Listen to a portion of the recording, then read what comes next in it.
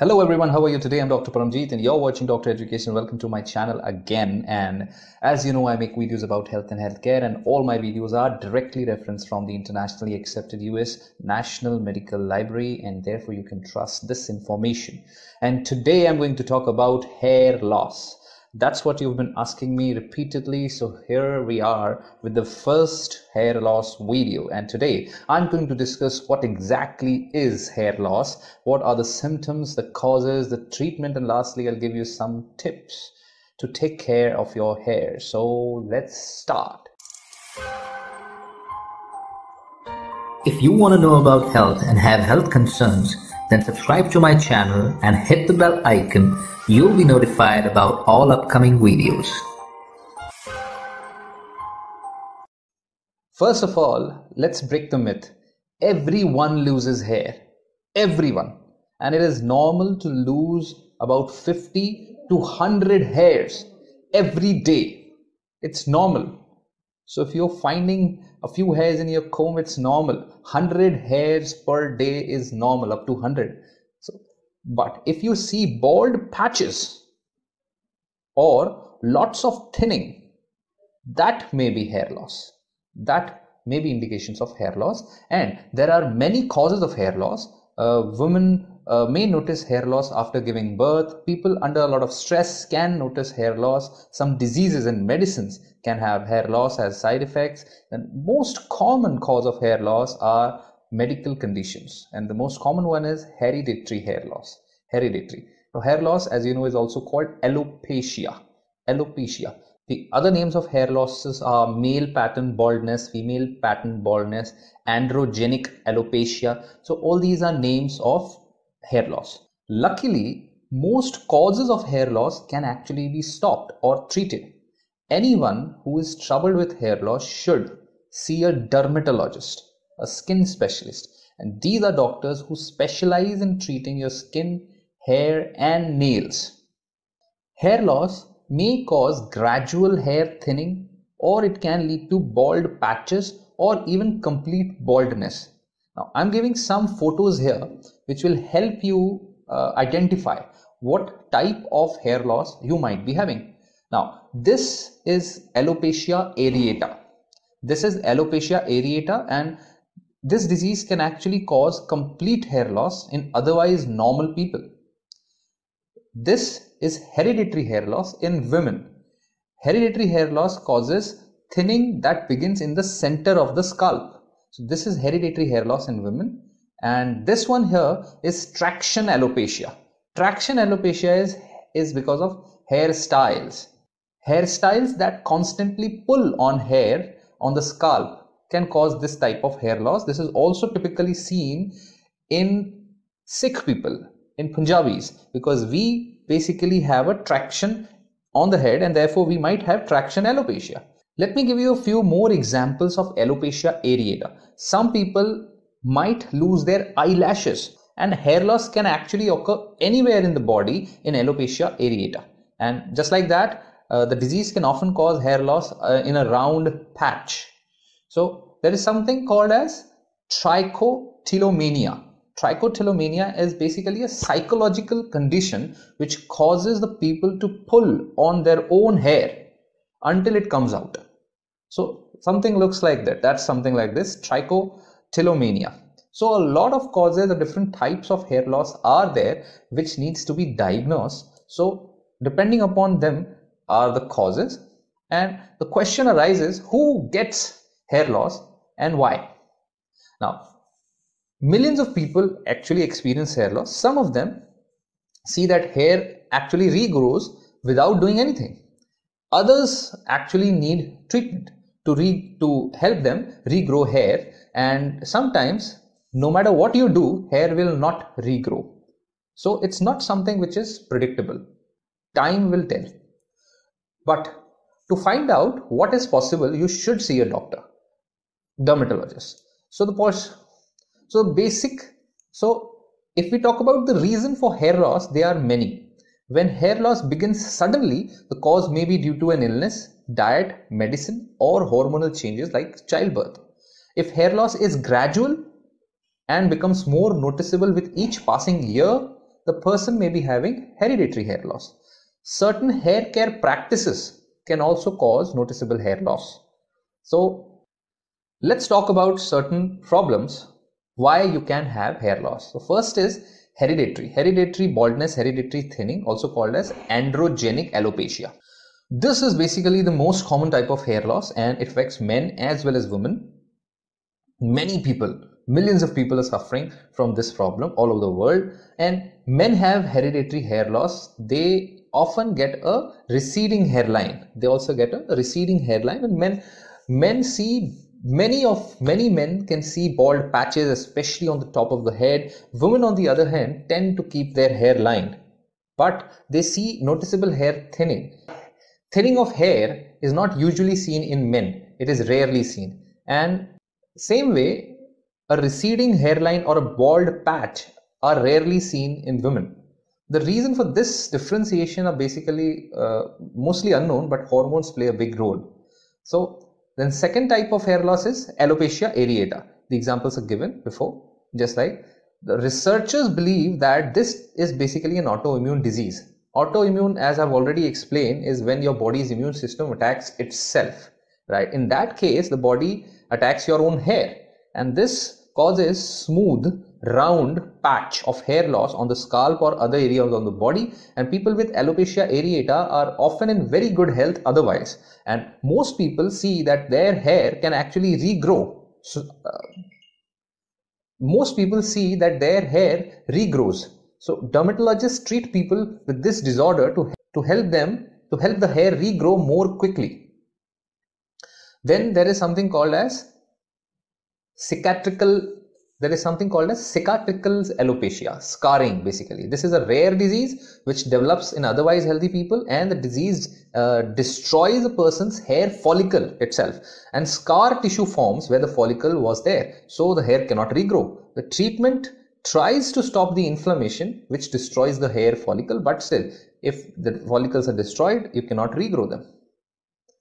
Then there are treatments called, then there is a disease called, then there are disorders then there, then there is something called as central centrifugal cicatricial alopecia this type of hair loss occurs most often in women of african descent and it begins at the center of the skull and as it progresses the hair loss radiates out from the center of the skull affecting the affected scalp becomes smooth and shiny. The hair loss can be very slow or rapid, and when the hair loss occurs quickly, the person may be having tingling, burning, pain, or even itching on the scalp. The treatment is basically to again help regrow the hair if scarring has not occurred. If scarring has occurred, again, hair follicle is destroyed and you cannot grow hair in that area.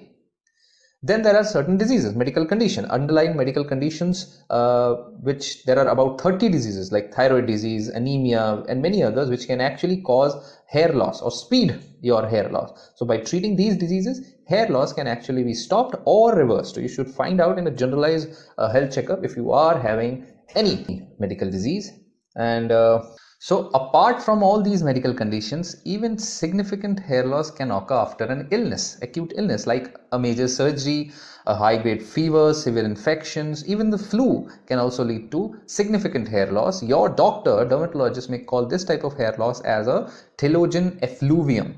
Sounds like a Harry Potter magic code, right? Uh, anyways, uh, then as you all must be knowing, cancer treatment, radiation therapy or chemotherapy can actually cause hair loss, but this type of hair loss is often temporary and it can, but it can cause great distress during the treatment to the patient's mind. If you have a fungal ringworm infection, ringworm is not a worm, it's a fungal infection and it is a contagious disease very common in children and without effective treatment it can cause balding. It can lead to significant hair loss. Then we've already discussed trichotillomania which in which there is a psychological problem and people actually pull out their hair and uh, then they can actually feel or compelled to pull out their eyelashes, nose hair, ear hairs, or other hairs of the body also. So these are the diseases, medical conditions which can lead to hair loss. Then there are certain hormones, hormonal and stressful situations like giving birth. After giving birth, some women after giving birth some women have noticeable hair loss and this is because of falling estrogen levels this hair loss is caused because of falling estrogen levels. And uh, this is temporary. After a few months these women see a very uh, nice hair regrow. So that's what is there. And uh, this is often called hair loss in new moms. So you don't have to worry about it. It will grow. Just have a good nutrition and that's all that is needed. Then menopause. Hair loss is very commonly seen during menopausal stage the transition stage and this loss is also temporary. Hair will regrow with time but of course, if a woman is 40 years of age or older, she should not expect her hair to have that fullness that it did when she was younger. Then there is stress. Experiencing experiencing a traumatic event like death of a loved one, divorce, or a breakup can even lead to hair loss. Then the most biggest thing which is there is diet and poor nutrition. One of the biggest key problem here is people trying to lose their weight. Some people see hair loss after losing more than around 50 15 pounds around 8 to 10 kgs. If you lose that you will see a lot of hairs and this hair loss often appears after 3 to 6 months after losing the weight and this is very common but yes don't worry this type of hair will regrow without help. Then vitamin a. Too much vitamin a can actually cause hair loss. People can actually get too much of this vitamin by supplements or medicines. If you're taking a lot of vitamin a supplements then uh, there is too much vitamin. Then what happens? Your body stops. Uh, and but yes this is also temporary. When you stop taking these vitamins when your body stops getting too much vitamin the normal hair will regrow. Again slowly. Then there is protein. When the body does not get enough protein so your body tries to ration the protein is it actually gets. Now the limited protein is used wherever it is actually necessary. And protein is required for hair growth hair buildup. So your body first shuts down hair growth. And therefore you the problem here is not hair loss. Here the hair is not growing. So therefore you slowly slowly feel there is hair loss. About 2 to 3 months after a person does not eat enough protein you can see this kind of hair loss and eating more protein will actually stop the hair loss. In this case eggs meat fish are a good source. Milk are a good source of protein. Vegetarians can actually get more proteins by adding nuts seeds and even beans to their diet and lean protein can be added i have a different video on lean protein just type lean protein by dr education on youtube and you'll find a video then iron not getting enough iron can actually lead to hair loss. Good vegetarian sources of iron are fortified cereals, soya beans, pumpkin seeds, white beans, lentils, spinach, and there are uh, oysters and organ meats in non-vegetarian options, which are very good source of iron. Organ meats. Then eating disorders are there. When a person has an eating disorder, uh, hair loss is common.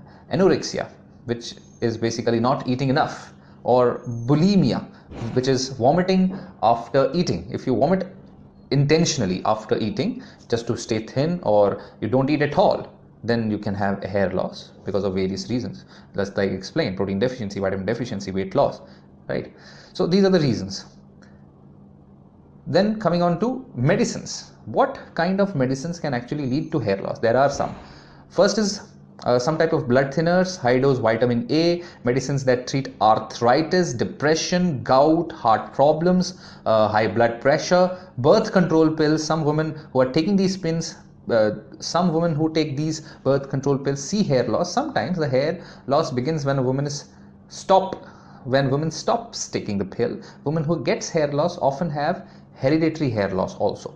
Then there are anabolic steroids. Steroids taken to build muscle and improve aesthetic performance can actually lead to hair loss. Then coming on to hair care, if you have a problem in your hair care routine, then also you can have hair loss. Your hairstyle and even sometimes the products which you use can cause hair loss. If you talk about products, bleaching, frequently or permanent. Frequently, temporary bleaching or permanent bleaching can actually cause hairs to break. So regular or imp then regular use of regular or improper use of dyes gels hair relaxers hair sprays can actually cause hair breakage. Dermatologist recommends limiting the use of these type of hair products. Less use often means less hair breakage and therefore less hair loss. So limit as least as you need so there is no uh, standard uh, safe limit here. So make it as less as possible. Then blow drying flat iron and other devices. Frequent use of these kind of blow dryers tend to damage hair high heat from these blow dryers or can actually uh, or flat irons can actually boil the water in the hair shaft leaving the hair brittle. So it just breaks down. It's very prone to breakage. So that's why your doctors will recommend dermatologist recommends you to allow the hair to air dry. It's very important to allow your hairs to air dry and then style your hair when it is dry. That's very important. And it is also recommended to limit the use of flat irons these are like the straightening irons which are used with high heat or even the curling iron. These actually damage your hair. If you have even a little hair loss stop taking these. Stop using these. Stop using these things. Then hairpins. Yes hairpins clips and rubber bands. When used if you use them very tightly hairpins clips and rubber bands can also break hairs. Then hairstyles years of wearing hair in one style that pulls the hair such as a ponytail a crown, crown row crown, such as a ponytail or a braid can actually cause uh, a type of hair loss which is actually called a traction alopecia which we saw uh, earlier. Then there is washing dyeing combine comb then even washing dyeing and combing can actually cause hair loss. Too much washing too much combing too much brushing right? More than a 100 strokes per day is too much. More than 100 strokes per day is too much. So that can cause hair loss. Rubbing or uh, wet hair. Rubbing wet hair then rubbing wet hair with a towel with a towel is not good. It can cause hair breakage. Brushing or combing wet hair can also cause breakage especially in people who are asian right. So these are all the possible reasons why you are having hair loss why you might be having hair loss. So lastly let's talk about how hair loss is diagnosed and treated by a dermatologist. See uh, because so many things can cause hair loss a dermatologist actually has to act like a detective.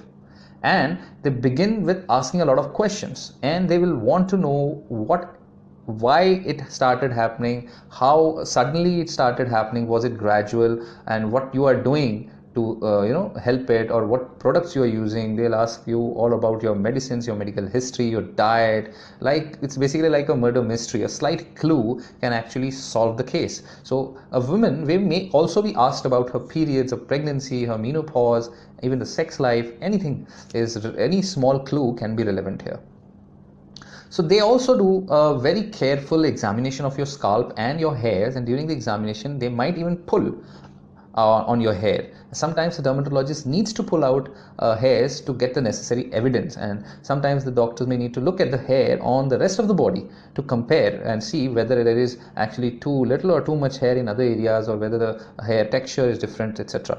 So sometimes the evidence lies in your scalp itself. The dermatologist may remove a piece of your scalp. This is called a scalp biopsy, and in that case, it can be quickly and safely performed in the office uh, visit itself, and it is essential sometimes to solve the case. Sometimes blood tests are necessary. So, because so many things can cause hair loss, it takes time to find out the reason, and you might need to come for a few appointments. So, why and how? So, that's how we diagnose and how basically you treat it.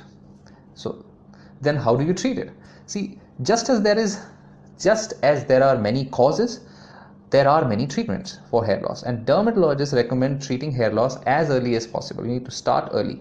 Early means before you lose a lot of hair. Hair loss is harder to treat when the person has lost most of the hairs, and it's very difficult to actually fill the area again.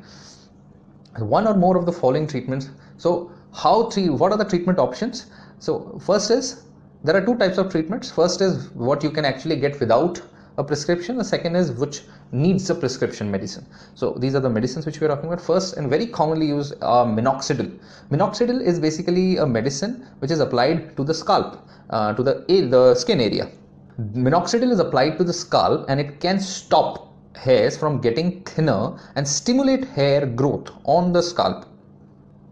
And this is the only hair regrowth product which is approved by the FDA for men and women. So this product can be used and your doctor might use uh, ask you to use this with other treatments other treatments like laser devices like brushes combs and other handheld devices that emit laser light which might stimulate hair growth. And these devices might make your hair look more youthful in some people because uh, these products are classified as medical devices. These products do not undergo rigorous testing for uh, medicines like just uh, like medicines undergo. So long term effectiveness and safety of these devices are not known. Then there are prescription medicines. First is finasteride. Finasteride is used to treat uh, hair loss in men and it uh, comes in a pill form and helps uh, slow hair helps slow hair loss in 88% of men. It helps stimulate the hair regrowth in many men, almost 66%. Finasteride works by stopping the body from making a male hormone called DHT, dihydrotestosterone. So finasteride stops DHT and therefore stimulates hair growth all over the body. It is used in men because in women it will lead to hairs all over the body. So women don't want that. Then corticosteroids. Corticosteroids is uh, if a hair loss is caused because of inflammation in the body, then your doctor might even inject a medicine. Uh, then your doctor might inject a medicine inject a, corticosteroid injection into your scalp and this can actually help stop the inflammation and help the person uh, who has alopecia areata. So corticosteroid is actually different from anabolic steroids. We will be making a video on corticosteroids as well as anabolic steroids very soon. So keep following for that. Then there are some procedures. The type of procedure that a doctor will recommend depending is uh, the see procedures the type of procedure that you require will the type of procedure the type of procedure that a doctor recommends will depend upon how much hair you have lost. And uh, there are the types are like uh, hair transplant is there in which uh, skin on the scalp uh, that has good hair growth is removed and transplanted to the area on the scalp that needs hair so that is hair transplant. Then there is scalp reduction. Scalp reduction means the bald scalp is surgically removed and the hair bearing scalp is brought closer together to reduce the balding. Scalp reduction surgery can be performed alone or in conjunction with hair transplant. Then there is scalp expansion. Devices are inserted, in this case, devices are inserted into the scalp uh, for about three to four weeks to stretch the skin. The procedure may be performed before uh, scalp reduction to make the scalp more lax so that we can actually reduce it. And it can also be performed solely to stretch the scalp to solely to stretch the hair bearing areas which reduces balding. So that is one option. Then there is scalp flaps. In this case the hair bearing segment of the scalp is surgically moved and placed where the hair is needed. So scalp flap is needed. Then see hair transplant the hair is basically skin from the uh, skin is needed and then there is scalp whole scalp is removed once your doctor knows what kind of hair loss you have, your doctor can tell you what to expect. Sometimes the hair loss does not need treatment, and sometimes the hair will start to regrow on its own. In some cases, uh, changing what you what you do will stop the hair loss, allowing your hairs to regrow naturally sometimes, but treatment like these are needed to restore hair, restore the hair. Lastly, as I promised, some tips for managing your hairs and uh, the best tip is to practice a good hair care routine. Many people are surprised to learn that hairstyles or even the way they are washing and drying their hairs contributes to the hair loss and following the tips can actually uh, uh, I'm going to post a video on how to take care of your hair best so uh, I'm going to post a video very soon on ideal hair care routine. So watch, wait for that and do watch that. Then the second tip is to not to stop taking any medicine that your doctor has prescribed. Sometimes some medications can cause hair loss, but the doctor might just warn you about them but don't stop taking medicines without consulting a doctor because immediately stopping these kind of any kind of medicine can actually cause serious side effects. So if you think the medicine is causing hair loss talk to your doctor who prescribed the medicine. If the medicine is the problem the doctor might just replace the medicine with another option. Third most important tip is that you need to realize that your hair loss may be temporary. Some things in life cause temporary hair loss. We've included we have discussed so many things like illness childbirth stress. And during a very stressful time your body reacts by causing more hairs than normal to go into the resting phase. For most people this hair will start to regrow without any help. So don't worry. So don't worry. These types of hair loss mostly are temporary then last tip is talk to a dermatologist. Many things can cause hair loss and if you have a concern about hair loss, go and talk to a skin specialist dermatologist. They will find out what is wrong with you and what you can expect and how you can get treated. So that's all about hair loss in very utter details. I'm Dr. Paramjeet. I'm not a dermatologist. I'm a physician and cardiologist. I cannot treat your hair loss. I can just guide you. So I am a physician and cardiologist in Yashoda Super Speciality Hospital, Nehru Nagar, Ghaziabad, Delhi NCR and this is my channel where I guide you. Do share this video, send it to everyone and till next time, stay connected, stay healthy.